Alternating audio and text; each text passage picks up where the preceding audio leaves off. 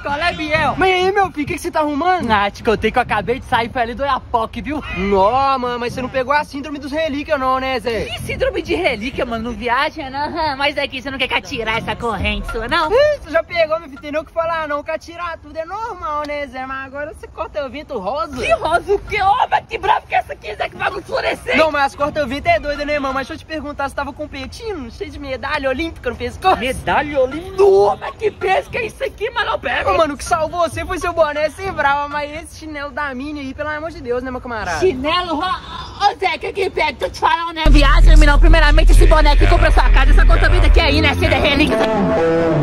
A diversão do DJ era. A diversão do DJ